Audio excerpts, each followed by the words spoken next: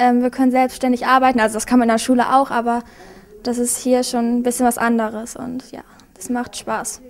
Ich finde auch hier ist das schöner, da man hier äh, selber Sachen suchen kann und auch Aufgaben selber lösen kann. Ähm, ich fand es heute sehr interessant, da wir sehr viel Neues dazugelernt haben, als wie das wir es eigentlich in der Schule lernen könnten. Die Ausstellung ist wirklich groß. Also ich hätte jetzt von außen nicht gedacht, dass das Museum wirklich so für die Verhältnisse riesig ist. Also man kann so praktisch mal was machen, man sitzt nicht nur im Klassenzimmer. Der Unterschied zur Schule ist, in der Schule müssten wir da sitzen und im Buch lernen und abschreiben und hier können wir es selbst lernen und ja. Die Schülerinnen und Schüler der Nünning Realschule aus Borken reden hier so begeistert über Biologieunterricht. Allerdings nicht im Klassenraum und auch nicht in Form des ungeliebten Ratespiels Lehrer fragen, Schüler antworten. Die Neunklässler sind zu Gast im Medizin- und Apothekenmuseum in Rede. Es geht um Infektionskrankheiten, Hygiene und Gesundheitsvorsorge, damals wie heute. Vor ihrem Besuch haben die Jugendlichen einen Test in der Schule geschrieben. Wir haben die äh, Gruppen erstmal heterogen eingeteilt. Das heißt, aufgrund dieses Testes, was die Grundlage bildete, haben wir dann ähm, bessere Schüler und nicht so gute Schüler in eine Gruppe gefasst. Und das hat die ganze Situation natürlich erleichtert. Leute, die dem Thema schon ein bisschen näher waren, konnten ähm, ja, den Schwächeren helfen. Und das ist ja auch das Ziel des Ganzen. Die Zeiten des Frontalunterrichts, wo der Lehrer doziert und die Schüler mitschreiben, sind vorbei. Heute geht es in der Schule um Kompetenzlernen, will heißen, durch das aktive Beschäftigen mit einem Thema, und zwar nicht nur allein, sondern auch in der Gruppe, erziele ich letztendlich einen wesentlich höheren Lernerfolg. Entwickelt wurde das Museumskonzept von Michael Radermacher. Der lobt vor allem die gute Zusammenarbeit von Schule, Kreis und Museum. Also hierbei muss man wirklich sagen, dass das sehr gut gelaufen ist. Es hat ursprünglich im August erste Vorgespräche gegeben und während dieser Vorgespräche ist uns die Idee gekommen, dieses Museum als außerschulischen Lernort in Unterricht zu integrieren, was auch eine Besonderheit ist. Denn ähm, äh, kompetenzorientierter Unterricht, insbesondere in Biologie, hier mit den Schwerpunkten Humanbiologie bzw. Ähm, ja, Gesundheitserziehung, ist etwas, was eigentlich eher dröge im Unterricht läuft. Und deswegen war sowohl von Seiten Lernen vor Ort, Bildungsbüro im Kreis Borken, ähm, als auch hier von der Leitung des Museums sofort die Bereitschaft, da mal was ganz Neues zu machen.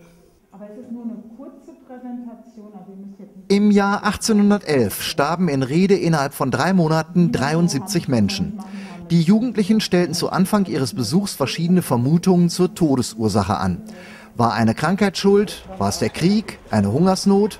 Im außerschulischen Lernort Museum kamen die Schüler den historischen Zusammenhängen auf die Spur.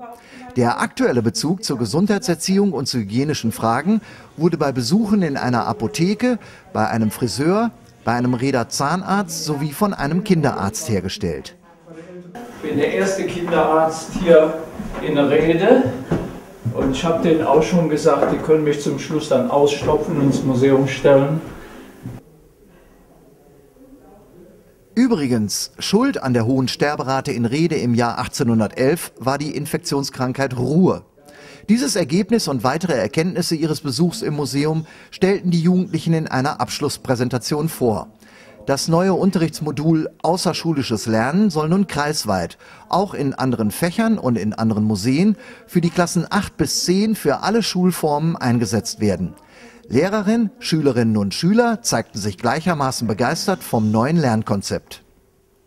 Also ich denke, dass es die Mischung natürlich macht. Ne? Ich kann jetzt nicht sagen, wir können jeden Tag in irgendein Museum fahren und dadurch ähm, ist nachher der Wissenszuwachs groß. Aber ich sage jetzt mal die Mischung aus Schule und dann gekoppelt mit so einer praktischen Einheit, mit einem Besuch im Museum, mit den Interviews, mit dem Sprechen mit äh, ja ähm, Spezialisten. Äh, das macht die ganze Sache natürlich aus und verinnerlicht auch einfach. Diesen Tag werden die Schüler nicht mehr vergessen, das muss man einfach sagen.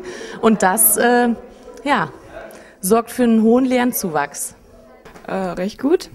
Ähm, viele Informationen und viel auch ausgestellt, auch von früher und ja.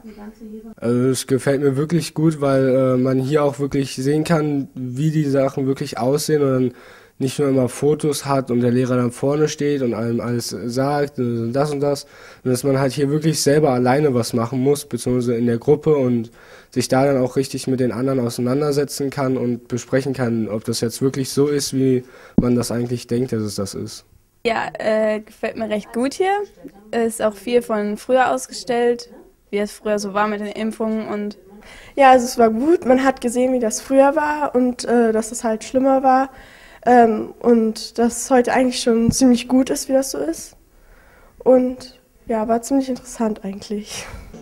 Also ich finde es sehr schön hier. Also man kann mehr Praktisches lernen, man lernt viel über das Impfen und ob das wichtig ist oder nicht. Also ich finde es sehr wichtig für jede Person, denn man kann dadurch mehr Krankheiten auslöschen und es sterben auch nicht mehr so viele Menschen auf der Welt. Also in der Schule ist es oft äh, sehr langweilig, weil man nur rumsitzen kann und den Lehrer zuhören kann.